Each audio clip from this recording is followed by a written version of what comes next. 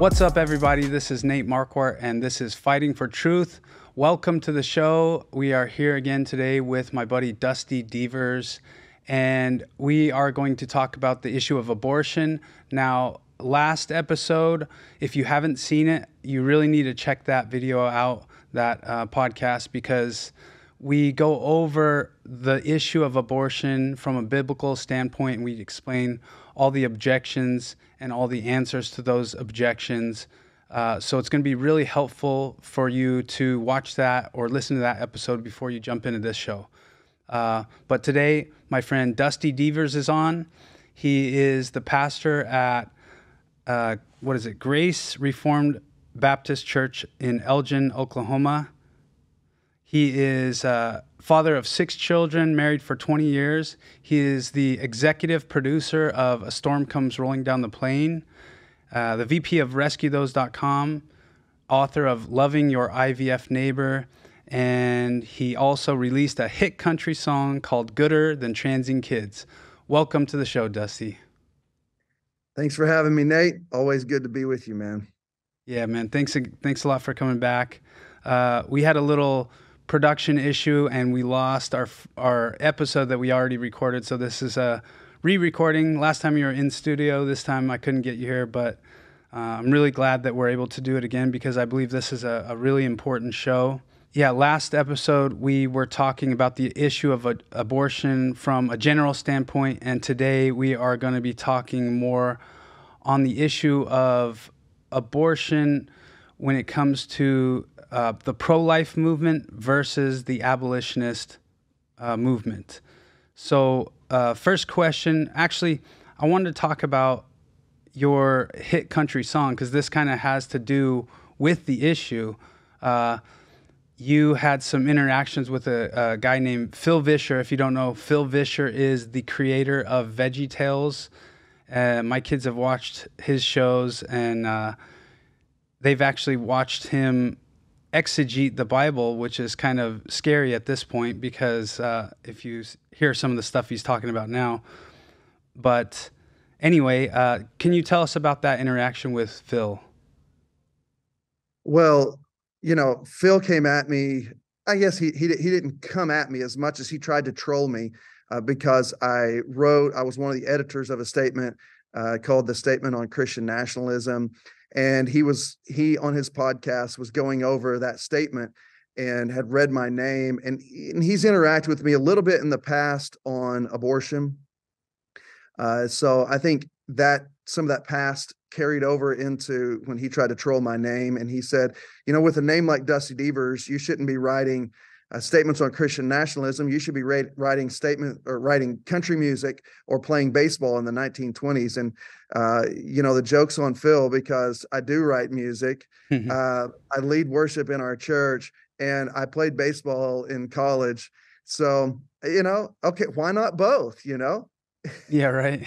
Maybe it was a little prophetic. He said that. So, but uh, so you know the you said you had an interaction before with him on the issue of abortion. Uh, he takes so so again. We're talking about pro-life movement or pro-life stance versus the what we would say is the biblical stance of abolition or, or abolitionist. And we want abortion to be abolished and we want equal protection for the victims. And uh, and Phil Vischer has what would be called a pro life position. Um, let me read a quote, a recent quote. I'm going to put any quotes, uh, I'll put the links in the descriptions so you can check back on those. He's, Phil Vischer said, he said, I was in favor of making exceptions for the life of the mother and probably f- for rape if it was very early in the pregnancy. And he says, I believe this is the position of the National Association of Evangelicals. So when, uh, when, when he was asked why he referred to the National, uh, the National Association of Evangelicals rather than Scripture for his uh, basis, for his thoughts, he's, this is his response. He says, I didn't refer to Scripture because there is no specific Scripture that tells us whether it's better to force a 10 year old girl to become a mother after she's been violently raped, as opposed to taking a Plan B pill that might cause a fertilized egg to fail to implant. And he, then he says, which most of these folks consider to be an abortion. Uh, he also said this it's a, it's a situation where we are compounding evil with another evil.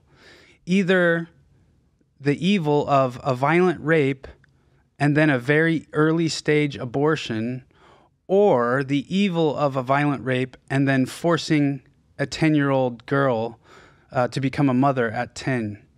At 10. If uh, he says, if you've seen a verse about that, I haven't. Love your neighbor could lead you in either direction. Now, uh, of course, we talked last episode about the, you know, he obviously is saying one evil with another evil. He's comparing the two evils, saying that it's evil to force a girl to become a mother at 10. Now, uh, what would, I mean, yeah, Dusty, what do you have to say? I mean, he has a lot of errors in his thinking. What do you have to say about all that? Yeah, Phil Vischer is exposing himself as not having a biblical view of life and and uh, loving your neighbor. It's very uh, worldly in in practice. Uh, really, it's it's uh, you know it's Darwinian in a sort. Uh, whenever you just are able to subjectively define based on Phil's feelings uh, what he thinks, or maybe his his received position from the culture when life begins and who has value. I mean, we've done that historically. Societies have done that, and it's ended up uh, with the murder of millions of people. you know, you think of Mao Zedong and Pol Pot and uh, Hitler, and y- you think of America uh, since since Roe v. Wade in 1973, killing over 65 million preborn children. Well, why? Because the same it's the same idea. The uh, the answer to the Jewish problem for Hitler was to define them as not having worth and value because some some category or incidental characteristic of their life.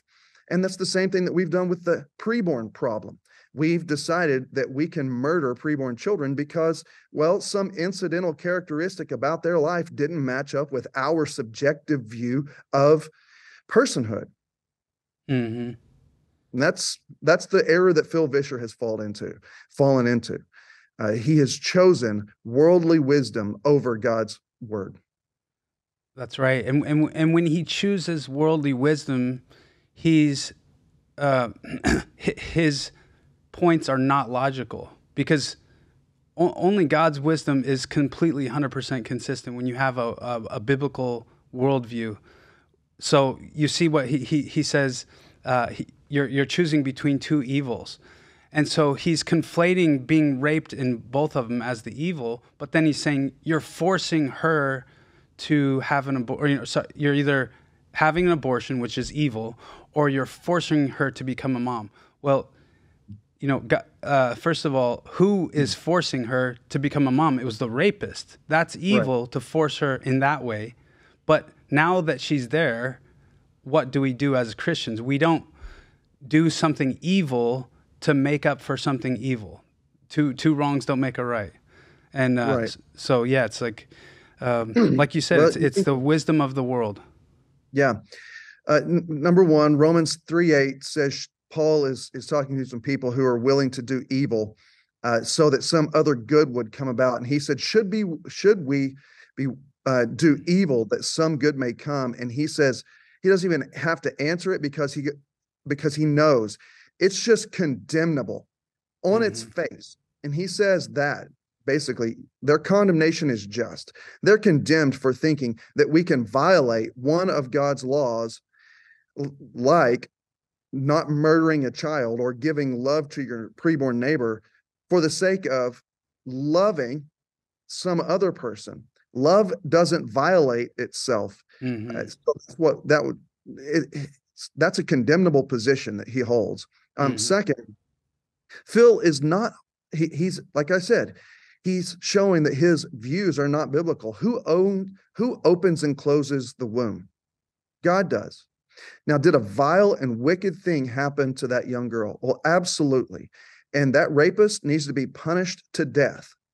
But our laws aren't sustaining that right now either. It wouldn't protect her, nor would it protect the life in her womb.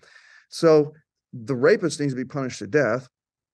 Number two, she needs to be protected by that law.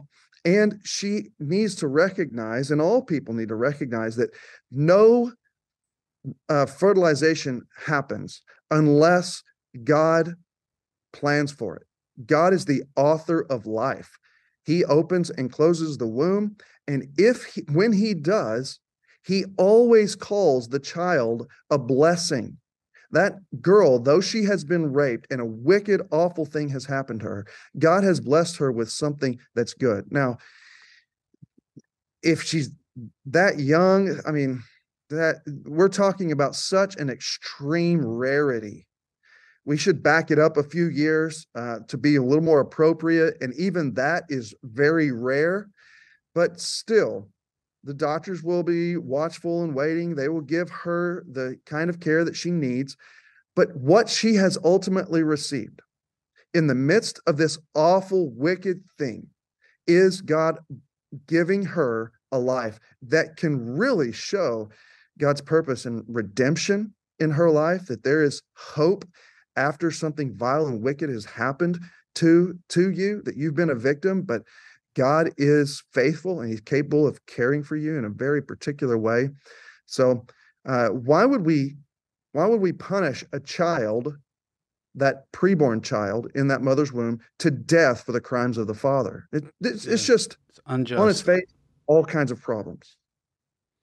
Did you did you see the Babylon Bee article that they did on Phil Vischer after that those statements? Uh, uh, it's I don't remember. I'm sorry. It's I mean Babylon Bee is pretty funny.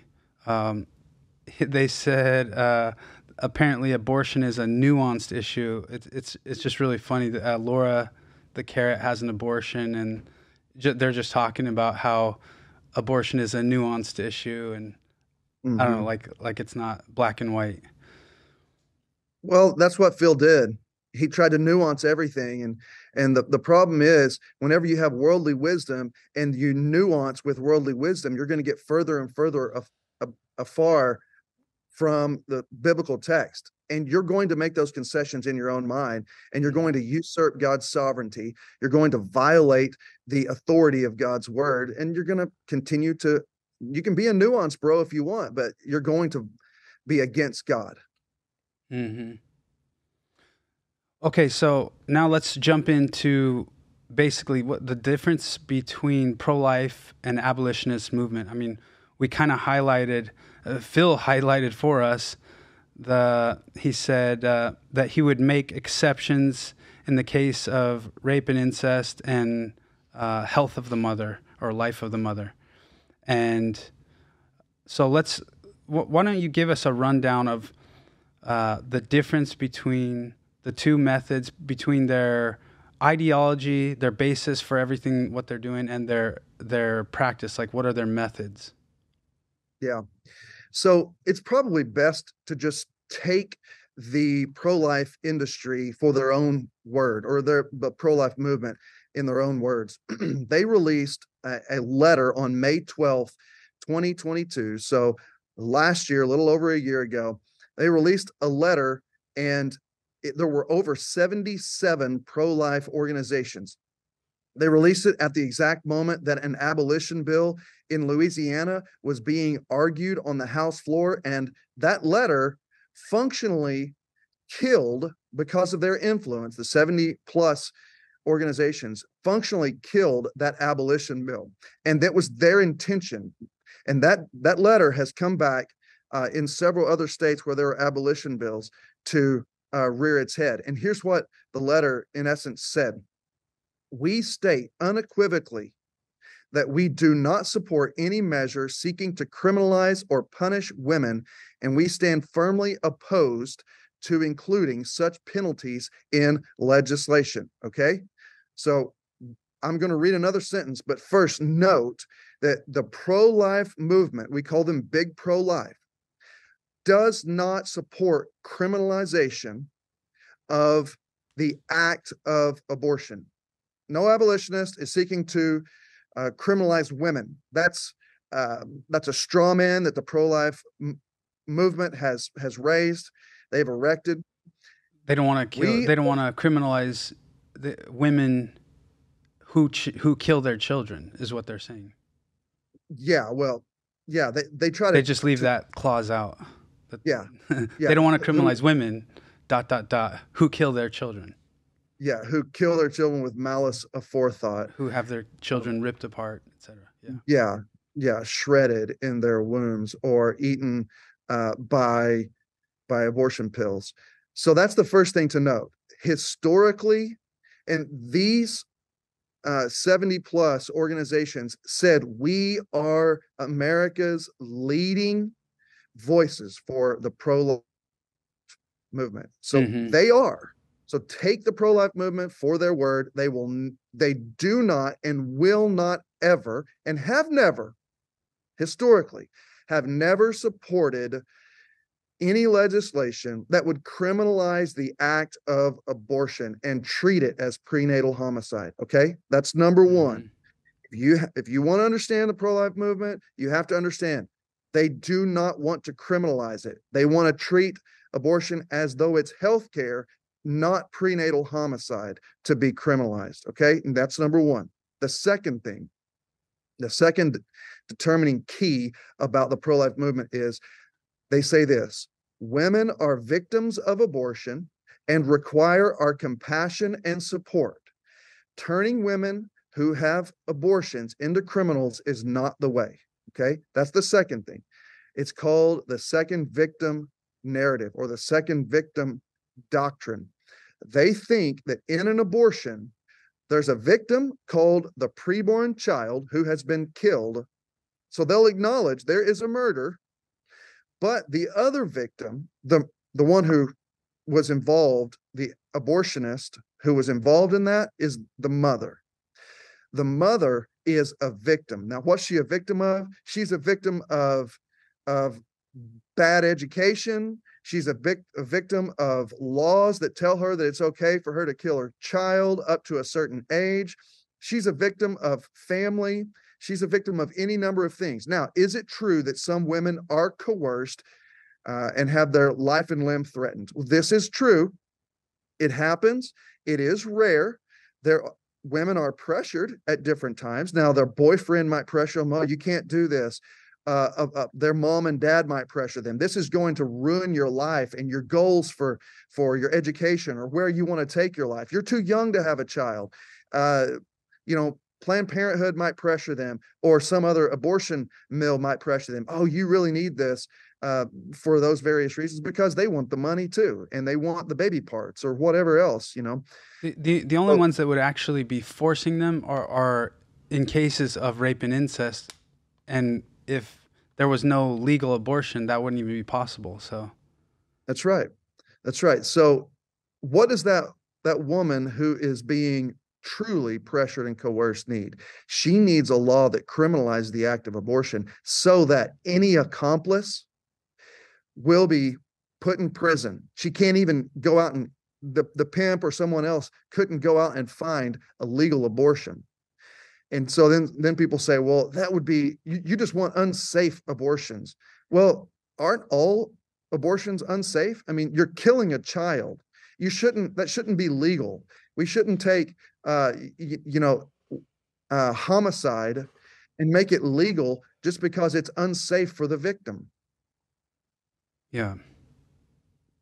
Anyway, back to the to the uh, pro-life movement. You've got those two things that essentially uh, define them, and that is that they will not criminalize the act of abortion, and they always treat women as victims of abortion. They can never be abortionists, the one who are involved in the malicious murder of a child that's planned.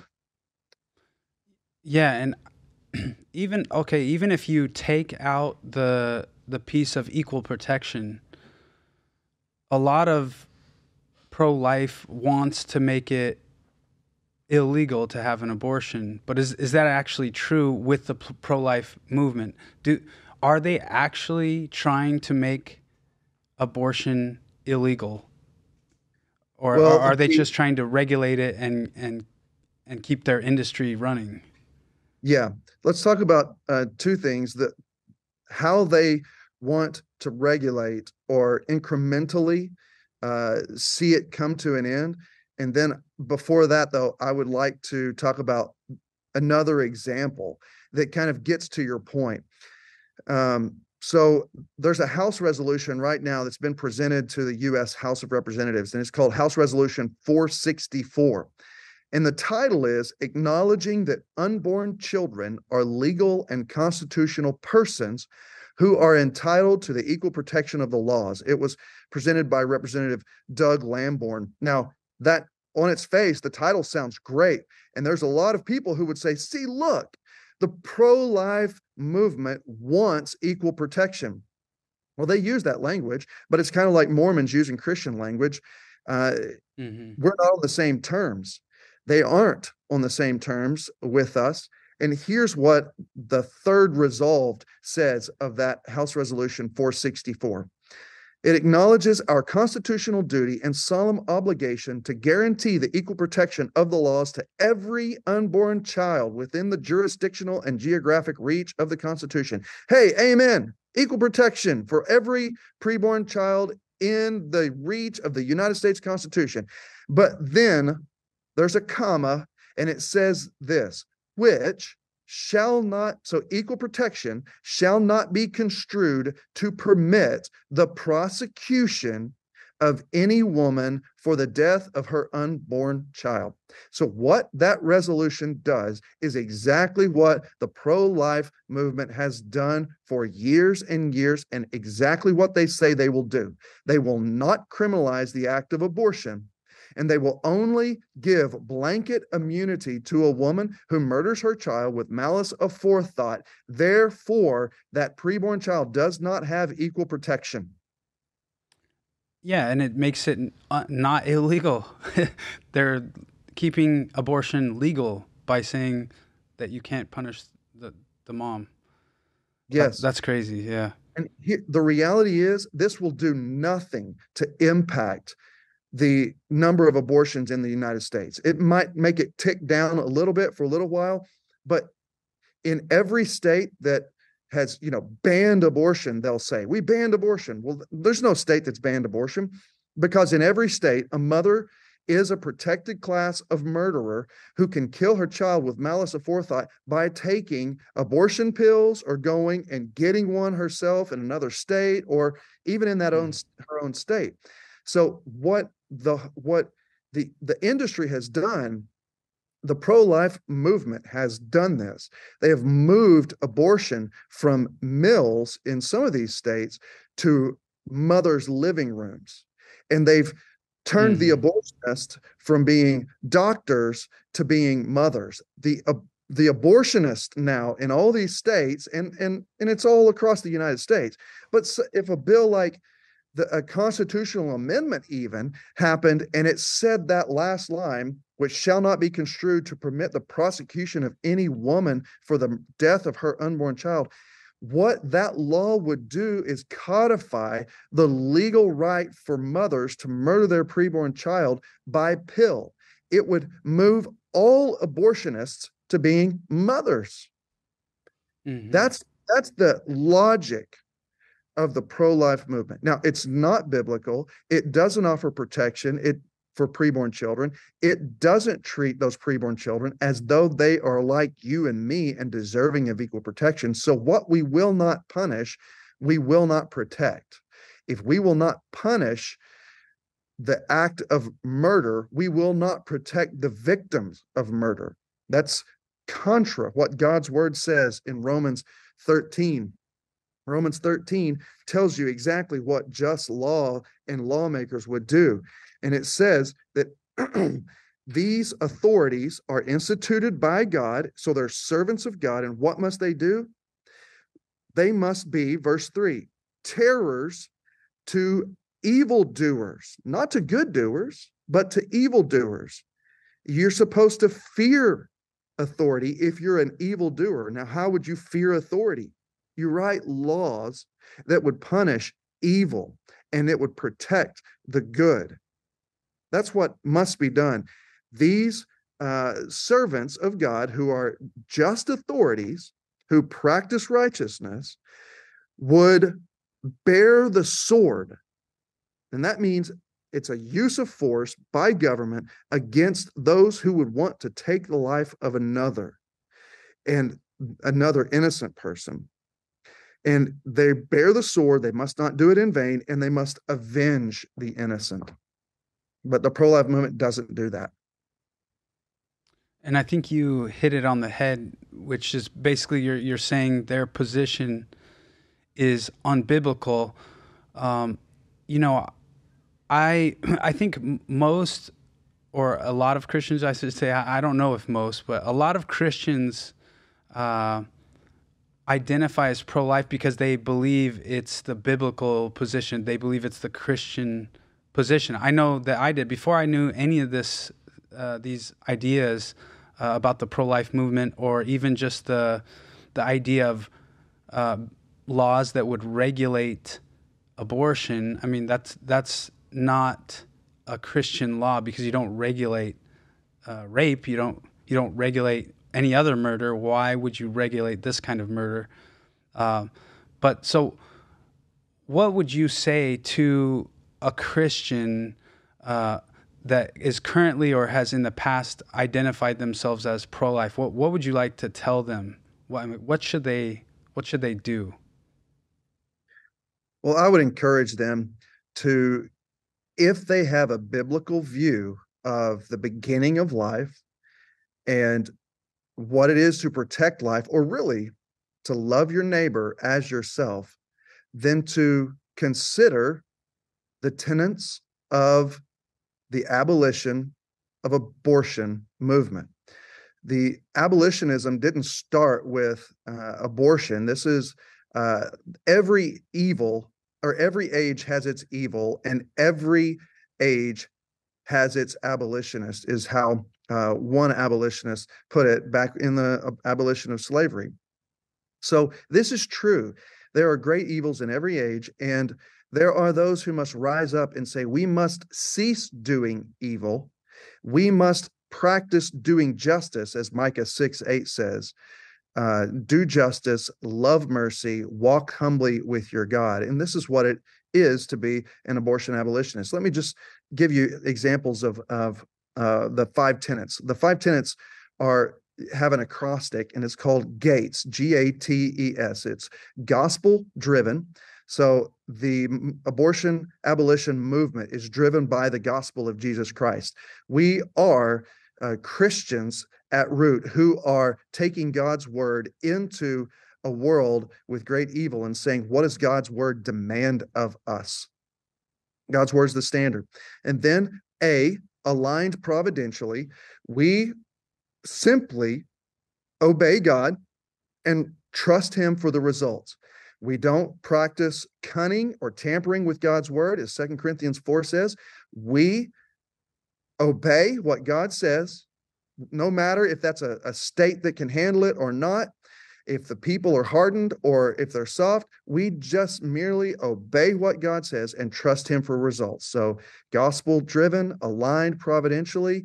And T is through the church. This is God has commanded the saints to go and obey the Great Commission and fulfill it to make disciples and teach them to obey everything he's commanded. It's through the church that God will eradicate the great evil of abortion. E is engaged biblically. It's God's word that is the standard for all life and godliness. Apart from God's word, we have no dawn, Isaiah 8 says. It is sufficient. It is living and active and powerful and sharper than any two edged sword. Why would we trust some other word? And then the S is sought immediately without compromise. And by sought immediately, we're again coming back to saying we don't care if the world or if your state or a particular area can't handle it. We are concerned about what God says, and we say what God says about this issue. So, get, let me give you an example. Uh, I think we've used this before, but if if I'm counseling a man who's who's involved in looking at pornography, and he says, "Pastor, I, it's you know I looked at pornography seven times last week, and can you help me?" And I say, "You know, I can really help you. Let's seek to get rid of your pornography addiction." by just addressing what's on the outside and doing it incrementally by an unjust way. And here's what I mean this week, you're going to let's do six times that you look at pornography. And mm. Then next week, we'll work on five. And over the next six weeks or seven weeks, we'll be down to zero. And then maybe we can deal with your lust problem. If I took that approach as a pastor, I would hope that most people, if they heard about it, wouldn't want to come to my church because they would know that I am a wicked operator, that that man's family, that man's wife, that man's um, direction and his future are not being founded upon God's word, but upon some pragmatic view that's going to cause him and others harm. And that's exactly what the pro life movement has been doing. Very good. I think that you mentioned the A, aligned providentially, uh, and then uh, I believe E was engaged biblically. Um, I I think that's very important uh, because the, one of their one of their methods or, or, their approaches to ending abortion is, like you said, incrementalism, uh, but also pragmatism. Uh, when you know, I, I had the privilege privilege to have lunch with a House rep in Texas recently, and he's a he's a godly man. You know, he's a Christian, uh, but unfortunately, he's bought into some of these what, what I would say is worldly wisdom. You know, that's not going to work when I, when I, we talk about abolishing it, making it you know a criminal act.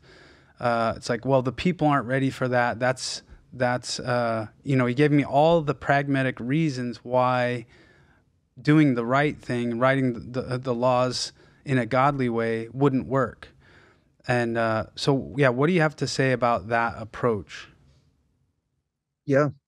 I think you you nailed it on the head.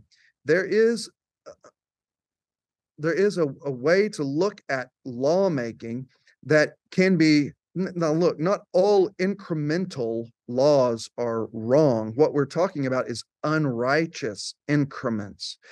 Being willing to do some evil that some good may come being willing to say well we'll start with a 15 week ban you can't kill children before uh, or after 15 weeks but you can kill them before so that then we can work down and maybe we'll get rid of uh, dilation and curettage, where you cut them up and then you suck them out with a vacuum. Or maybe we'll cut off certain branches of the tree.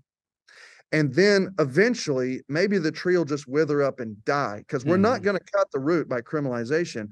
But the incrementalism is taking, and it's a willingness to do unrighteous increments increments or moves or steps that violate God's word so that they can get to what they see as their goal. Now their goal again like we said is is not criminalization of the act of abortion.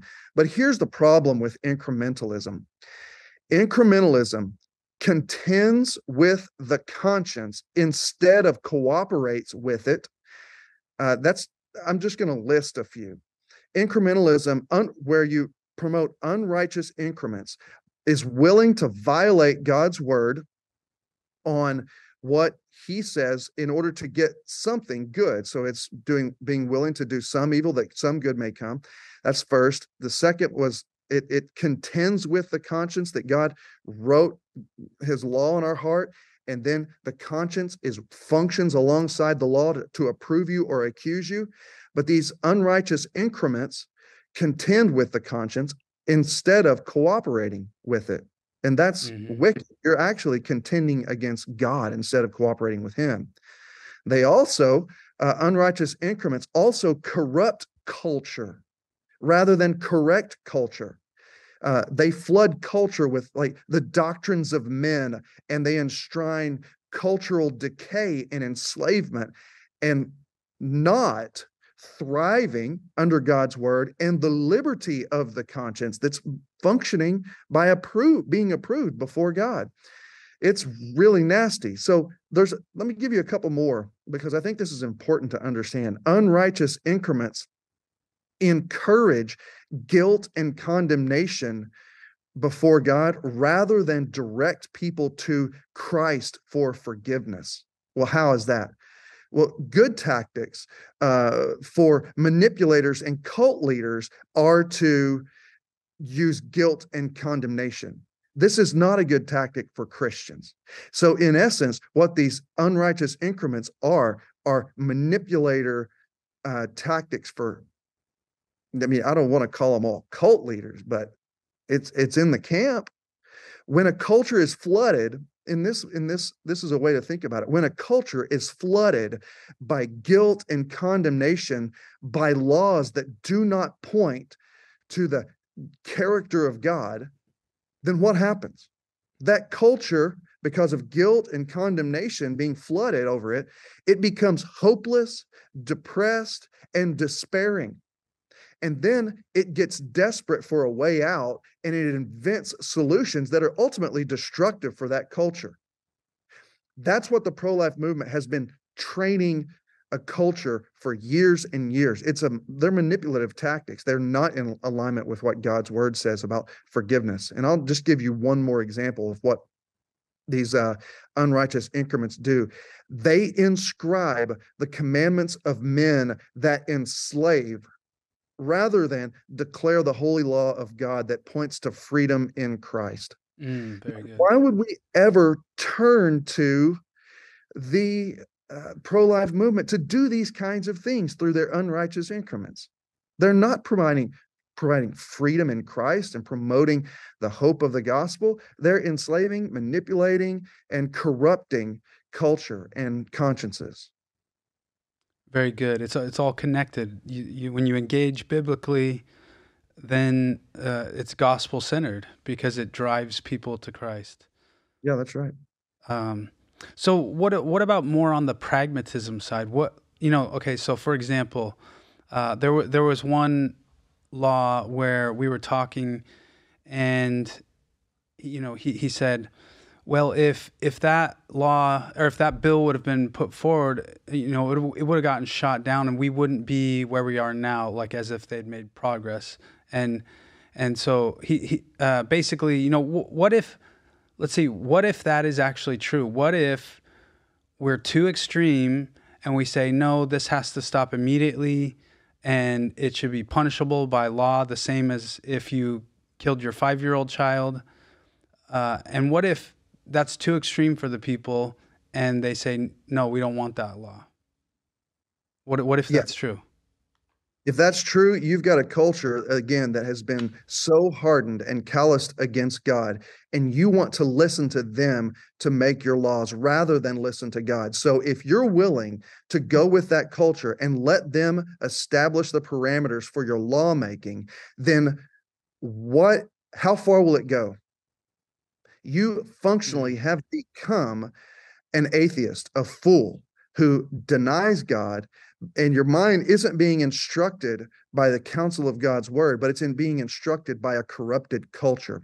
And so, what you then are willing to do, because the culture would allow it, but they won't allow you to do what God says, what you're willing to do is uh, compromise God's holy standard of justice, promote God hating partiality. Challenge God's lordship over the heart and the conscience, and ultimately reject God's command to repent of sin completely and immediately, you are putting God off to the side. You're usurping him and becoming a God for yourself, all because you're looking to culture and saying, What will they allow? Instead of, What does God demand? Mm, very good. I don't care if a culture, like, I'm going to restart on something here mm-hmm. because it's so sickening to me. I don't care if your state is like Virginia and your governor says, we're going to, we're going to let the baby be born and we're going to hold it alive for a little while and we'll keep it comfortable until the mom decides on whether she wants to keep it or not. I don't care if that's how hardened you are, or if you're like California and you have just abortion on demand up till uh, the moment of birth. I don't care. If that's what state you're living in, then either you need to be very, very clear and go on a campaign saying this is what God demands and be a prophet that God commands you to be, or you need to leave.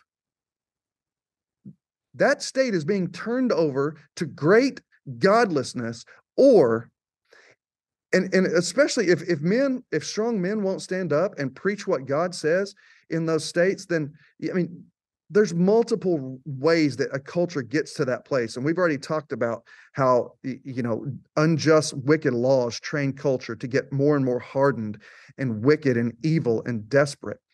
Uh, but we have serious problems if we say well a state will only allow this and then we listen to that state and we let it have authority. I know i know really well-meaning uh, friends who are attorneys and they'll argue with me oh but but we can let's try to get what we can and i'm saying is that what god tells you to do?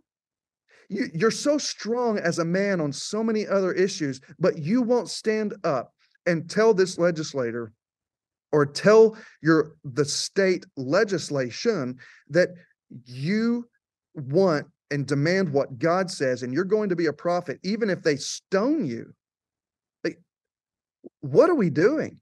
What are we doing if we give over we cede to the culture authority that is only God's. There, the problem then is not as much the cultures, they do have a problem, but the problem is on us because we have given up the greatest weapon and the greatest um, uh, means for establishing justice and practicing righteousness in a world when we say that God's word doesn't matter as much as what the culture says. I'm I'm worked mm. up over it. I'm sick of oh, it. Yeah. You know, I, I hate it. It's it's the softening of the message, the softening of God's word. Uh, people trying to make it palatable by by for for unbelievers, and it's it happens in the church. It's the, the the softening of God's words happening in the church, and now this is what we have. We have leaders of our country that soften the message. They soften justice so it's soft, right? So it's it doesn't cut like the sword like it's supposed to. And mm-hmm. yeah, it's it's evil, it's wicked.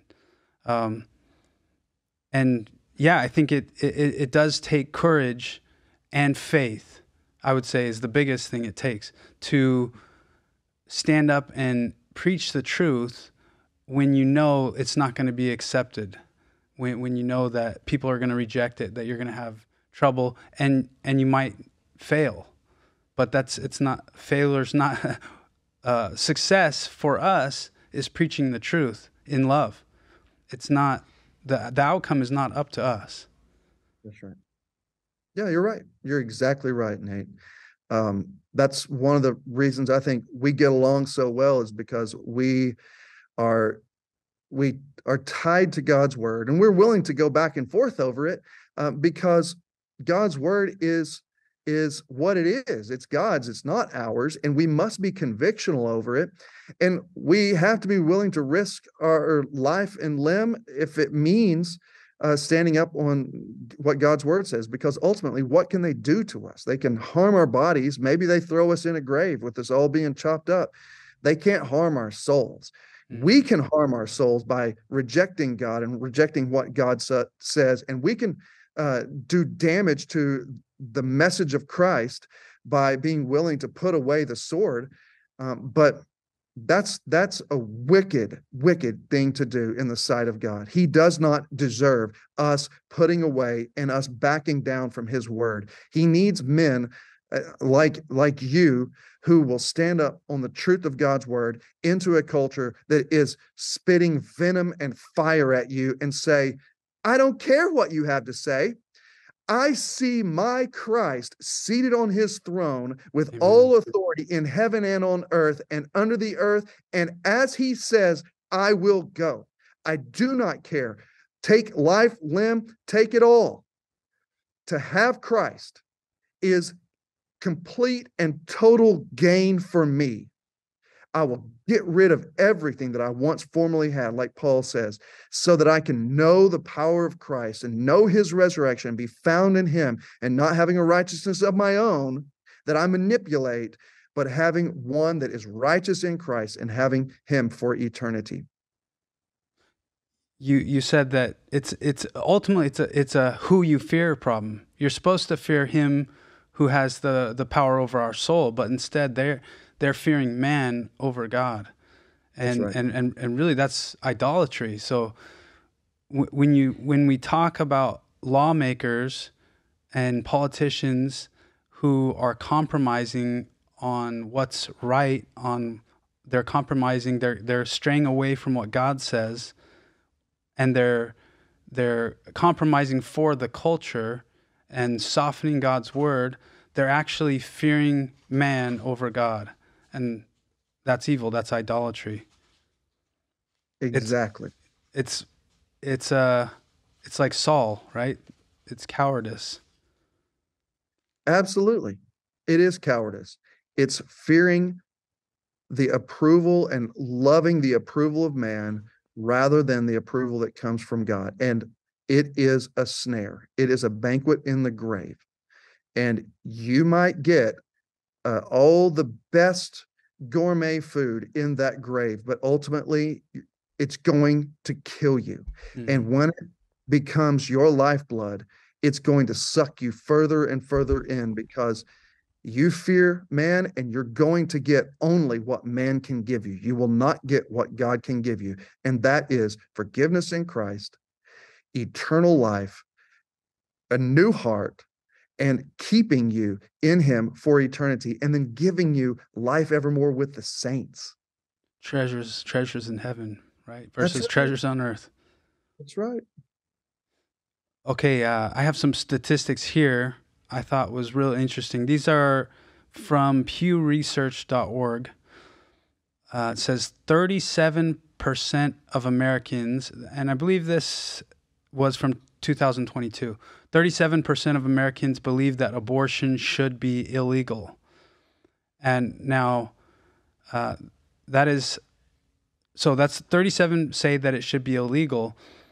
Only 8% of Americans believe abortions should be illegal in all cases with no exceptions. So, uh, another statistic to go along with that is that 63% of Americans claim to be Christian or Catholic. Uh, so, both of those worldviews should uh, include abortion being illegal. Uh, why do you think it is that there are 63% of Americans claim to be Christian or Catholic, and then only 8% of them think that abortion should be illegal in all cases? Because the they're we're wicked at heart. Our natural proclivity is to justify our sin and even the greatest of sin, which is murder. And we have any number of ways to justify ourselves. So you start with the fallenness, the depravity of man. That's the one that's the first reason. And then you have to say, well, why would a society be willing to answer direct questions about abortion, about the murder of preborn children in a particular way? And you have to say, well, somebody has trained them. So what trains? Galatians tells us that laws are tutors. The laws train people what is good and what is evil, what's acceptable, what's punishable. And when our laws, since 1973, at least, and well before that, have said a mother is a protected class of murderer, that she doesn't deserve to be punished for killing her own child.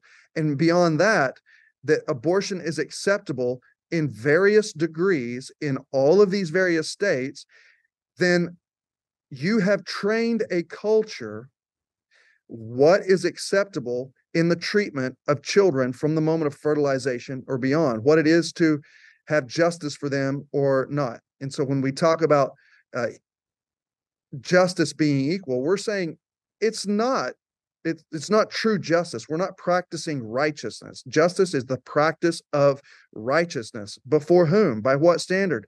Well, before the holy judge of the universe, the creator and maker. That's before God. So at that point, we have the depravity of man's soul.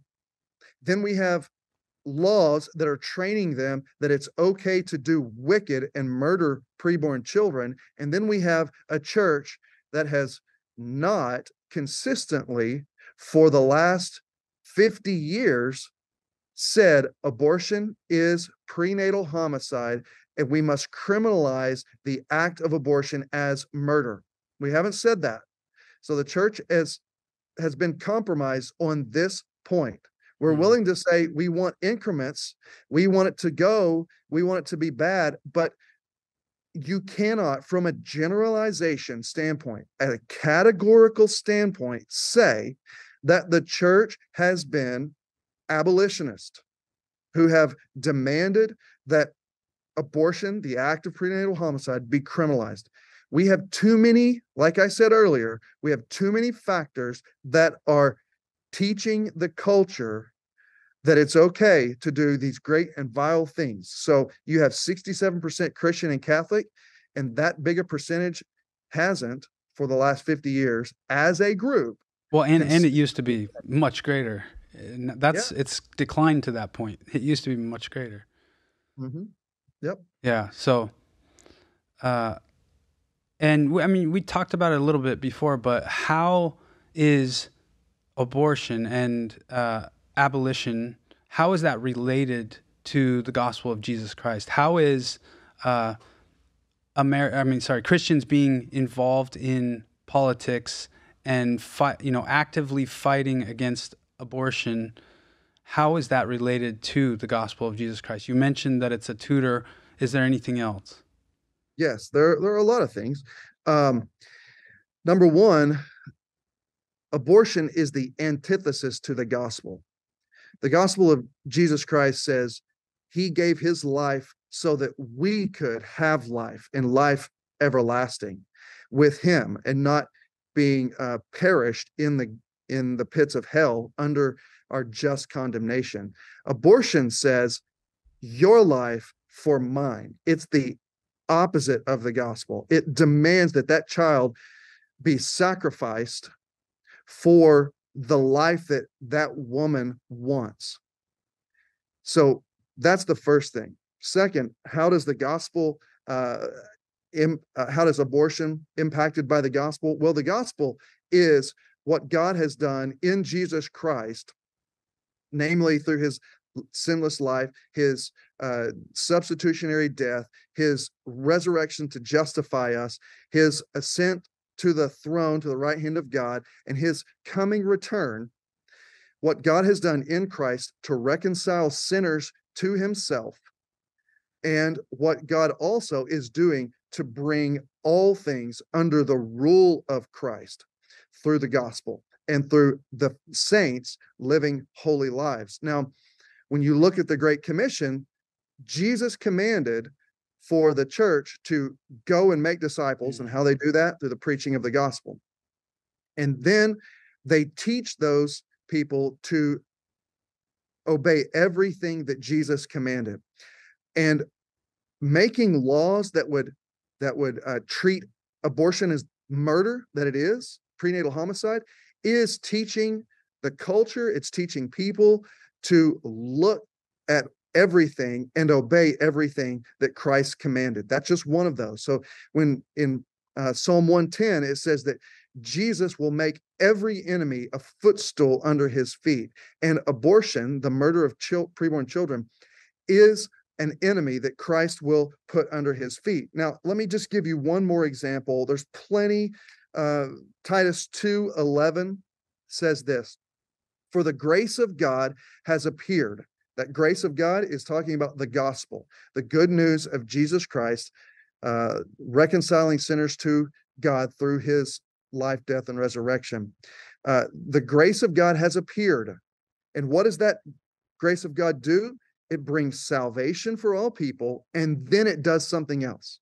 That grace appears, and then it trains people to renounce ungodliness and underhanded ways, the worldly passions, and to live self controlled, upright, and godly lives in this present age, waiting for our blessed hope, the appearing of the glory of our great God and Savior Jesus Christ, who gave himself for us to redeem us from all lawlessness and to purify for himself a people for his own possession who are zealous for good works. Abolishing abortion is not part of the content of the gospel, but it is an implication of the gospel. It is an outworking yeah. applying the gospel to your life. If you have the the good news of Jesus Christ, if you're born again and you're in Christ, then that grace that has saved you also trains you to renounce ungodliness and underhanded worldly ways and to be zealous for good works. And one of those good works is to see abortion abolished.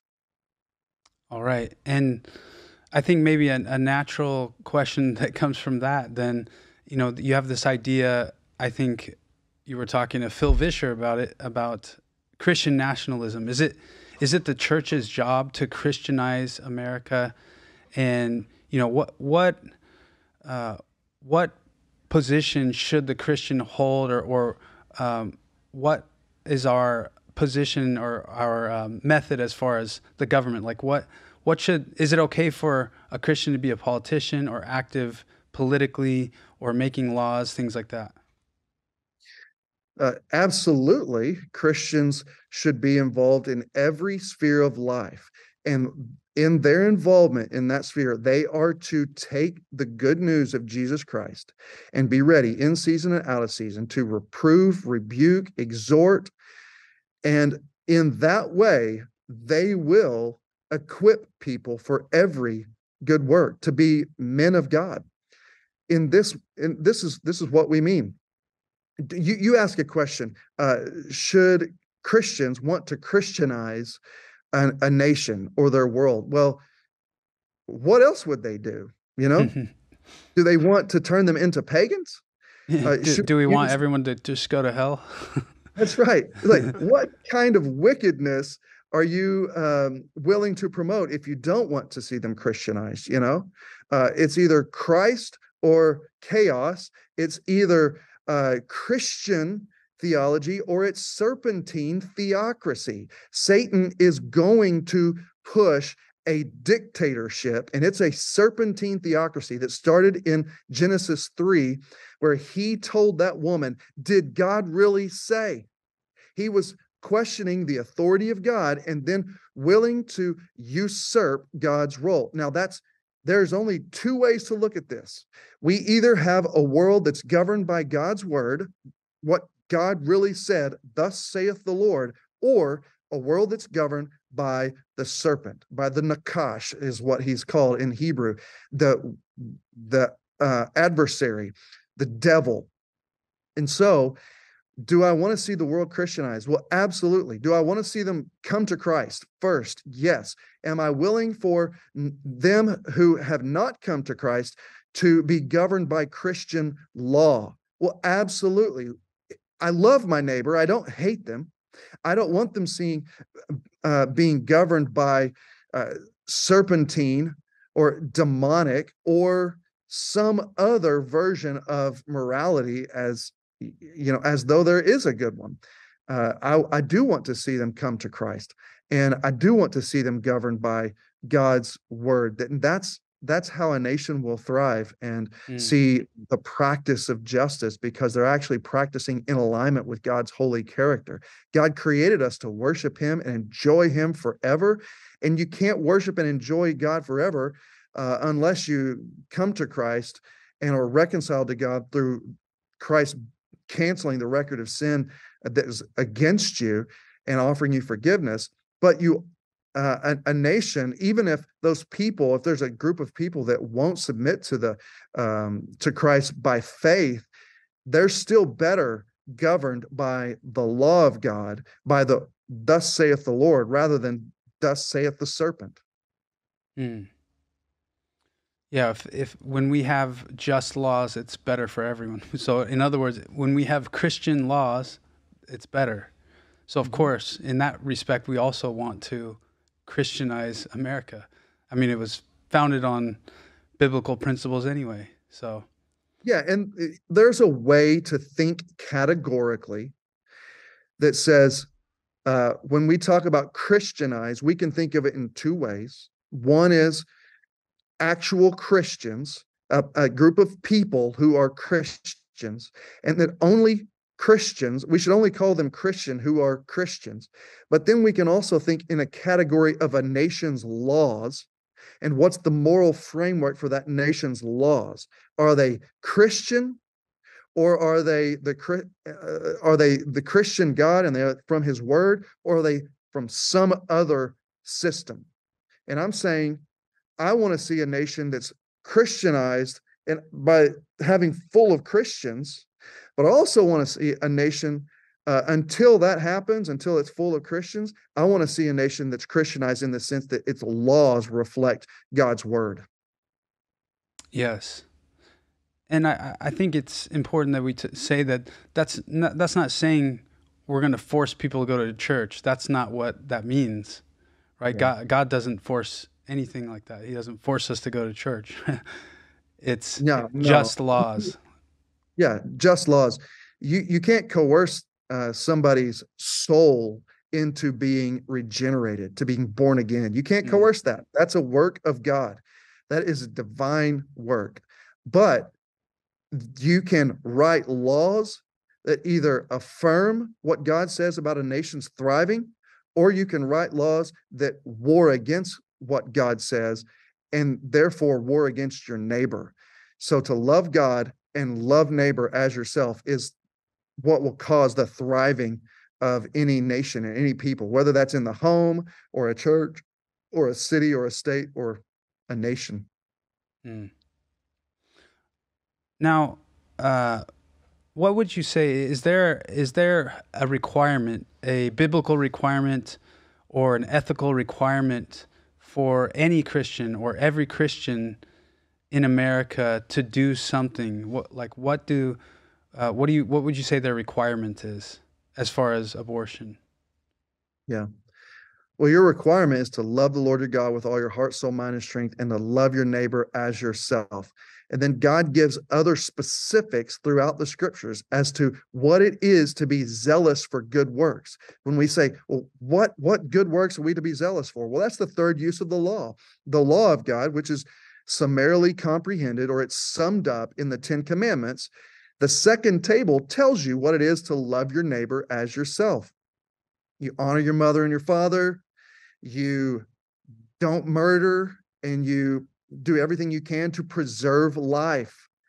That's the sixth commandment. Do everything you can to preserve your own life and the life of your neighbor. That's what it means to not murder. You're not only just not killing, but you're preserving their life. And how would you do that? Well, as a Christian, we know that the best thing for preserving life is to preach the gospel and to have just law. Now, you're thinking if you're a stay at home mom, or if you're a dad who's working every day and you're saying, well, I don't think I'm uh, set apart to be a lawmaker, what can I do? Well, I want you to think in terms of uh, the Ordo Amoris that uh, Augustine talked to us about. The Ordo Amoris says there are ordered loves that give you proximity and priority that also have to deal with the urgency of an issue. So, proximity would be you are to love your family or those who are closest to you, think in kind of concentric circles love your family first. So if if you're a mom and you're hearing this and you're just becoming, uh, you think you might be becoming an abolitionist uh, on on abortion, well, you can start uh, talking to your your family about this, and you can show them films like "A Storm Comes Rolling Down the Plain," and you can uh, buy some booklets from rescuethose.com, or you can look at Abolitionists Rising and watch their videos. They have a, a ton of great content. They are the standard bearer when it comes to uh, abortion abolition. You can uh, start talking to your friends then. Uh, dads, you can start teaching your children about what God's word says on uh, life. And he has made all people in his own image. And that means that they're all valuable and worthy from the moment of fertilization. You can teach them what God's word says. And then you can teach your friends. You can talk to them. You can talk to the people at your church. Now we're back, we're moving outward in concentric circles. Um, now, when we talk about the urgency of a matter, let me put it in terms like this Is abortion a great evil of our age? Well, was the slaughter or the the um, the murder and the gassing uh, and cremating of Jews a great evil during the uh, Third Reich and th- during the Nazi Holocaust? Was that a great evil? Well, yes, it was. What should Christians in Germany have been doing during that time? Mm. Trains were driving by, and the children were, and, and the people were screaming in the trains because they knew what was happening. Uh, should the Christian just sing louder so they don't have to hear it? Whenever the uh, snow was falling in the summer and it was the ashes from the crematoriums falling on the people as they were walking about their day. Should they just wipe the ash off and go and do their laundry? Yeah. They know that they, there's a great evil. They had happened. to do something. That they had to, at a minimum, speak up about it. Yes, we're asking a question about our culpability. Mm-hmm. What is the culpability of this nation whenever it faces the great evil? What is my culpability? What's my responsibility? So when you think of what would I have done back in the German Holocaust? Would I have stood up and said anything? Would I have uh, hidden Jews? Would I have sought to smuggle them out? Well, what would you have done during uh, chattel slavery? What would you have done? Well, what you're doing now, if you're not standing up now, then you wouldn't have stood up then probably. Sure, what you're yeah. doing now is is a kind of a uh, it's a it's a statement on what you would have done in other great evils. So well, and I mean those people were facing death if they spoke up, like somebody like Bonhoeffer, right? Uh, yep. When you speak up against those uh, those leaders that they they were being hunted down and killed, and uh, now Christians are facing, you know, you might you might get censored on Facebook, you might get your Twitter account pulled down, or you you might lose some friends, right? Yeah, and, and people aren't willing to speak up about it. Yeah, you're going to get some ridicule. You you might get uh, lambasted. I mean, you might have to change churches.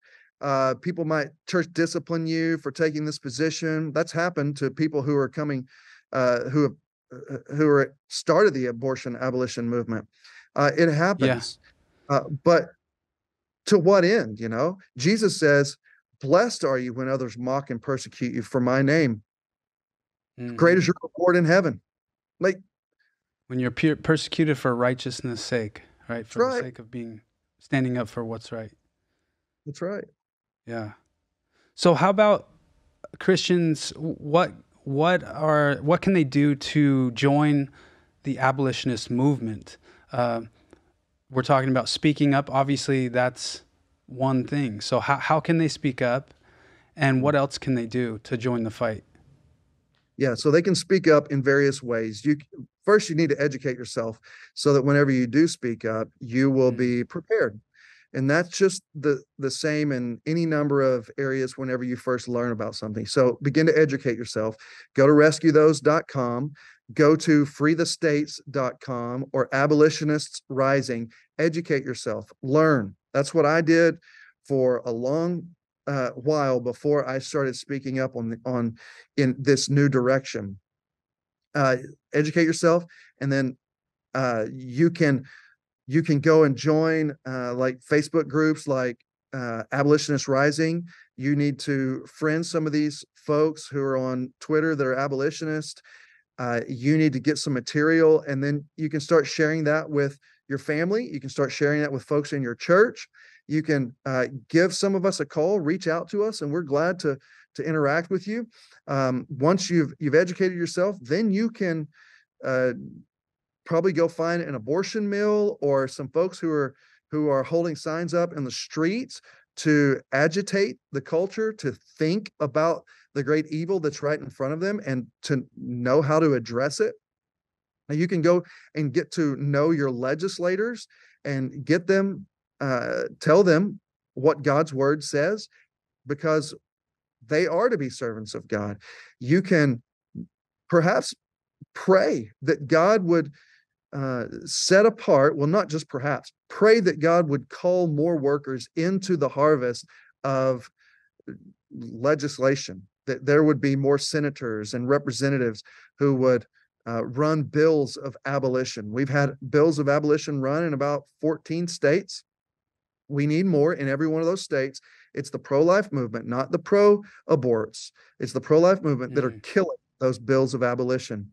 Uh, so there's a lot of things that you can do. Say, and say that one more time. It's actually it's the pro life organizations that are stopping abolitionist bills, abolitionist laws, laws that will actually stop abortion, make it illegal, and make it punishable. Uh, that that's the that's the pro life industry that's actually stopping that from happening. So they're not actually trying to stop abortion. Yeah, in about 14 states, maybe more, there have been bills of abolition that have been run. And in every one of these states, it's not the pro abortion industry or the lobbyists that are killing the bills of abolition. They rarely even have to make any statements. It's the pro life movement that is killing these bills in every state.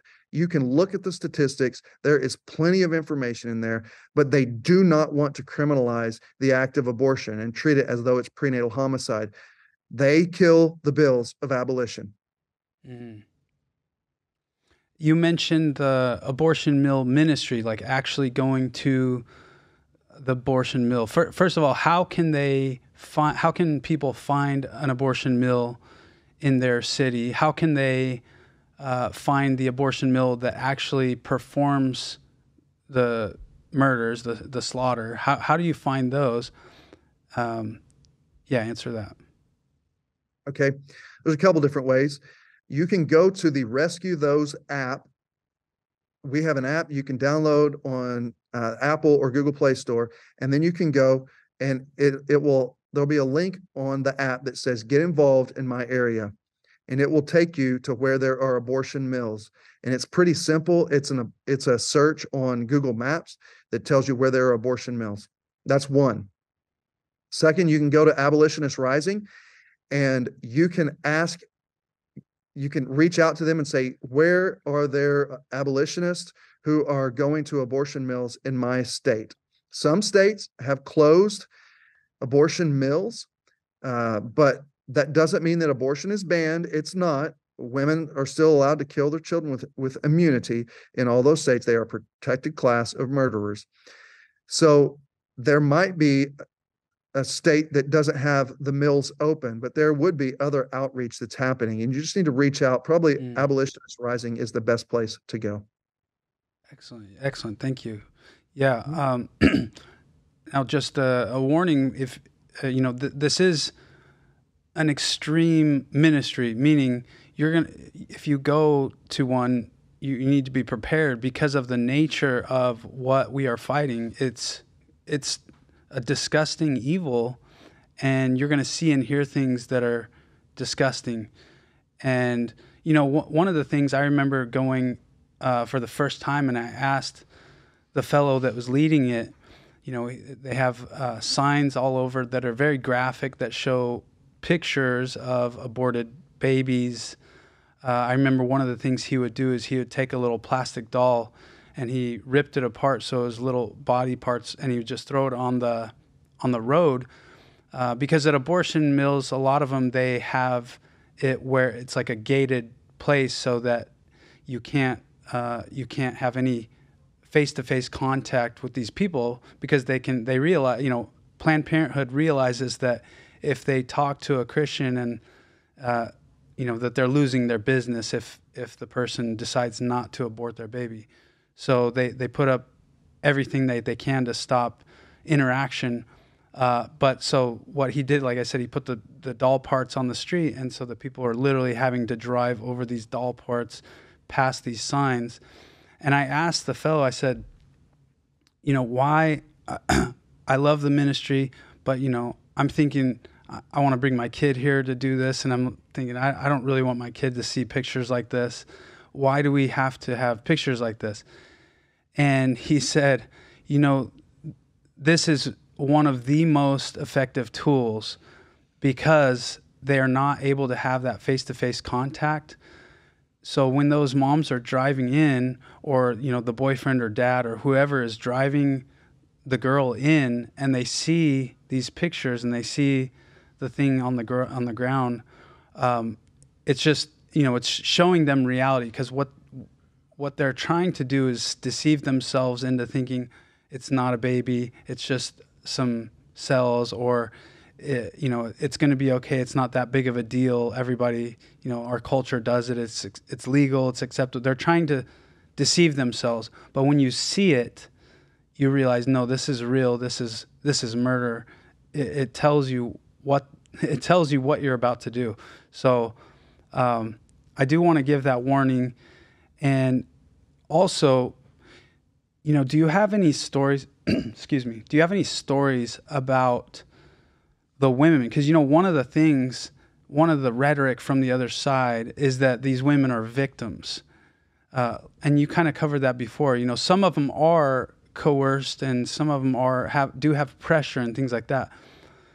But the fact that they're they're you know that they're saying it's they're a victim, that's actually not true. And actually, we see things at the abortion mills that show that they are not only not victims, but they're willing and almost like enjoying it. It's like evil, evil, very evil. So, do you have any stories of uh, encountering women at the abortion mill like that?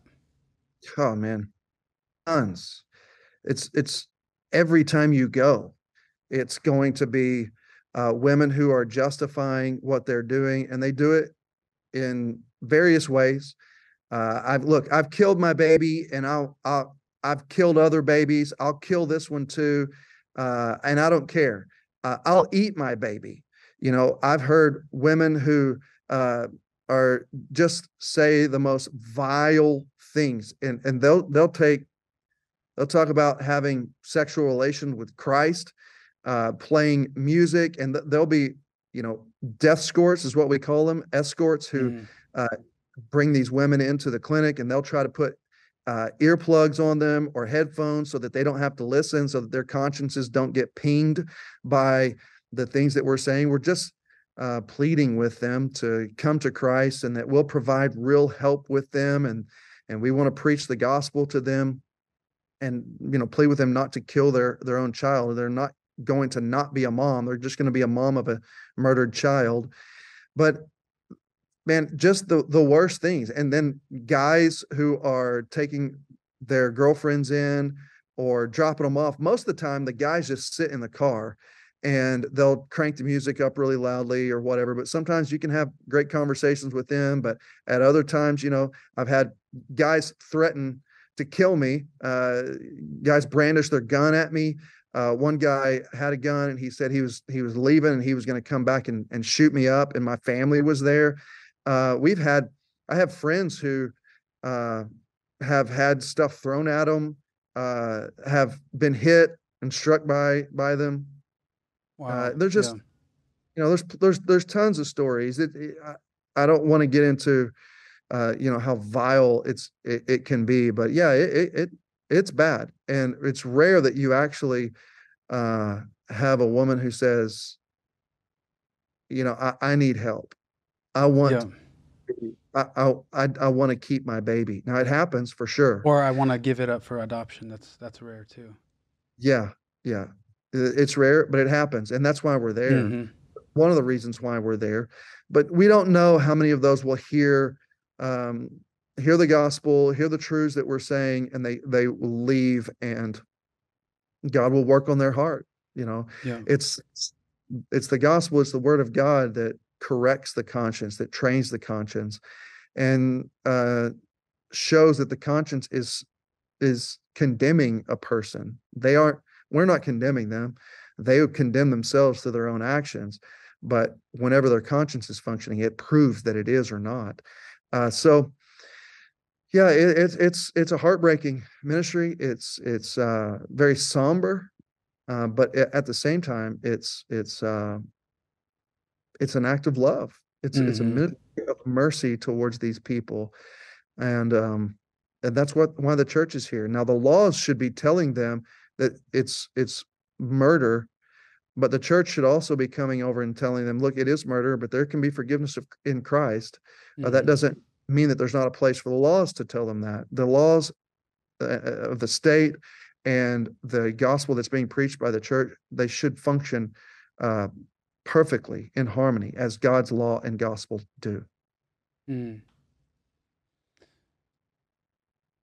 What about what about peaceful civil disobedience?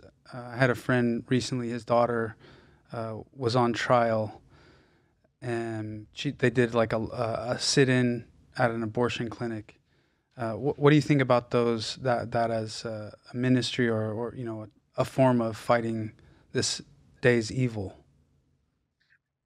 Look, man, I understand those things. Um, it, it- th- that rescue movement is a long-standing movement, and they are looking at the great evils of our culture and saying we've got to do something.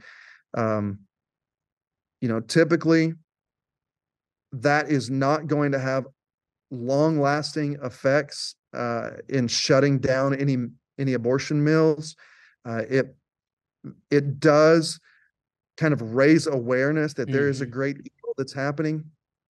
Uh, but that that abortion mill is going to pull those people out, or it's going to uh, just move them away from their doors. They're going to be arrested, and they're just going to keep going about their work unscathed. Uh, so really, we need to be pursuing legislation. We need to be pursuing the Christians uh, to see that this is a, a great evil in our culture, and churches must start standing up against this great evil. And we as Christians must start taking action. And we need uh, men preaching the truth about this and activating God, the Church of Christ. And some of that activation is going to mills, going to the streets and preaching the gospel, telling your family and friends and and your coworkers, and also becoming legislators who will write these laws. So, you know, I, I'm not going to speak disparagingly against uh, any of those who are convicted in their conscience that they need to pursue uh, the rescue uh, tactics. Very good. Now, I mean, there's no. I want to ask you about how many saves confirmed save because I know that one thing that'll happen at the abortion mill is you'll you'll see somebody pull up, and they drive past. You know, they drive past all the signs, and you're you're telling them not to kill their baby, and they park. They'll park for 30 minutes, and then they drive off.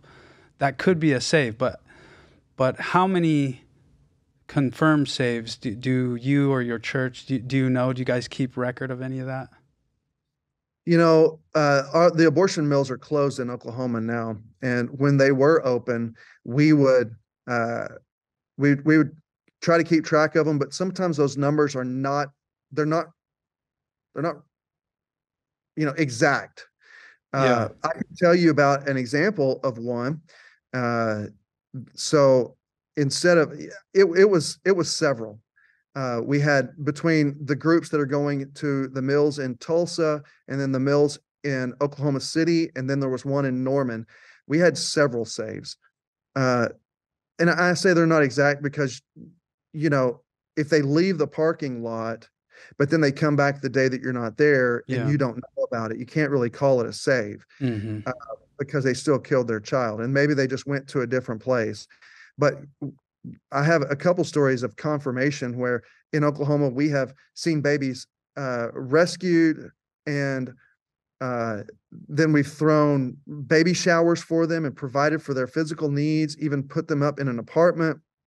Uh, one time, wow, I was uh, preaching the gospel at an abortion mill in Norman, Oklahoma, and where the where the modern abolition movement uh, was reignited back in 2011, 2012. Um, and a a uh, a crew came up to mow the lawn, and they were mainly Spanish speaking, and they had just come to mow the lawn. There weren't a lot of women who were coming in, and so I was preaching the gospel, and and and I asked the the crew foreman, "Hey, do you know what they do here?"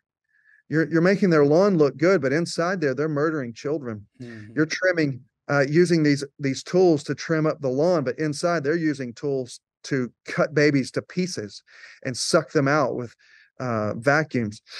And he said, "Oh yeah, I, you know I've heard. I think I know about that." And he and I said, "Do you approve of it?" And he said, "No." He said, "Man, I need help." And it was kind of caught me off guard. And he wow. said his girlfriend uh, was pregnant and he wanted to keep the baby but she wanted to to kill it and he said will you talk to her so a buddy of mine who was spanish speaking he, he was a uh, um he, he's a spanish speaking guy he got on the phone with the that guy and his girlfriend and talked them through and we found out a little while later that they had kept their child and that was just from a guy who was coming to mow the lawn at an abortion wow, mill. Praise God. Divine appointment. He spoke to you. Yeah, yeah. It's yeah. you know, it's all providential. That's why we trust the providence of God. Amen. So that was actually my next question is what would you say to uh, a young lady or any lady for that matter who is considering abor- an abortion currently? Okay, so whenever they're walking up to the mill or if you're interacting with them on the street, we, we do three things, and there's three categories that can really help. First, we plead with them not to murder their child, and they have three P's. So plead with them not to murder their child. Number two, preach the gospel to them. And number three, uh, provide real help. So we plead with them not to murder their child. We talk about it being a true life that God created in his own image. He gives value and worth, that he opened and closed her womb, and that he has rewarded her with a child. This is not a curse, it's a mm. blessing. So to receive it as such. Second, we preach the gospel. Look, though your sins are many, you can be forgiven. You can be white as snow. And Christ comes to not only forgive you, but give you a life of love and joy in him. And then third, we if they have a problem where they can't afford it or this is uh they have they need protection from from a pimp or someone like that then we want to find out what their real needs are because they're they're whole people body and soul and we want to see what physical needs they might have and so those conversations will will be able to go where they need to go on those three areas plead with them not to murder their child preach christ and provide real help sounds like the gospel to me that's awesome Mm-hmm. Yeah. And uh, how about this? What would you say to a woman who has already had an abortion? Maybe somebody who's listening to this message and they're being convicted. Yeah. We have a, a couple women in our church who have had abortions. Uh, one woman first said, You know, if the laws would have told me that it was illegal and that it was the crime of murder to kill my child, then I wouldn't have done it. So she wished the laws would have taught her and told her and and warned her and then avenged her child. That's what she wished. But to that to those women we say though you have killed another person so that you can have the life that you want Jesus offered himself as a sacrifice in your place so that you could have the life that you do not deserve. Your sin of killing your own child was nailed to the cross of Jesus Christ. And if if you have believed on Christ, then God punished Christ in your place. He punished Christ for the not only the the deeds that you did and the words that you said, but also the way that you hated your neighbor, that preborn child, your own child, in your heart, and the way that you thought about your preborn neighbor, that it was not a person, that it was not worth protecting, that it was just uh, to be used used at your own expense, that it was a an object for you to crush and kill however you wanted. That Christ took the punishment for all those things that you did, and he offers you forgiveness of sin by his grace and by his grace alone, so that you can be, though wicked and sinner, you can be forgiven and made right with God through Christ and, and through faith in him and that you can have a full life now in joy and not no longer condemned for your sin. And you will also you're off, offered the love of this christian community who christ has brought you into. You've been a, now a, a, a daughter of christ and you're a family member to us and we will love you and support you uh, without giving you judgment or condemnation. We will only give you the grace of god. And you're a vessel of mercy to receive his his mercy now both now and forevermore. Amen. As the church we are to look at people as they are. If they're in christ they're a new creation. That's what the bible says. And uh, we give people that have done horrible things we can give them grace uh, because of christ because he's forgiven us so we don't uh, there should be no judgment, no um, uh, moral judgment over someone in in a, con- a condemning way, uh, or looking down at someone who has repented of that sin and put their faith in Christ because God has forgiven them. And uh, so, Dusty, I wanna I wanna thank you so much for coming on the show again. Uh, how can people find you? Well, you can find me on Twitter at Dusty Deevers. You can uh, find me through rescuethose.com. You'll see some articles or booklets that I've written there. I've also written uh, some articles on the internet, but I also am a pastor. One of the pastors, there's three of us at Grace Community, Grace Reformed Baptist Church of Elgin, Oklahoma. You can look me up there. Uh, you can also uh, watch the video or the uh, documentary "A Storm Comes Rolling Down the Plain." It should be helpful. Awesome, brother. Thanks again, and uh, you know I want to give a big shout out to the Mighty Oaks Foundation. Uh, my buddy Chad Robichaux, he has made this episode possible, and I want to give him a, a big shout out. They have a a ministry that helps men and women that suffer from PTSD uh, you know, military personnel. So if you're suffering from PTSD, please call them, look them up on the internet. They give free camps for people. It's a Christian foundation, and uh, they have a very, very high success rate. And uh, you guys can check me out on Twitter. I'm at, at Nathan Marquardt, uh, Instagram at Nate Marquardt. And uh, that's it for today, guys. Uh, I want to thank you guys for tuning in. And until next time, let's keep fighting for truth. God bless y'all.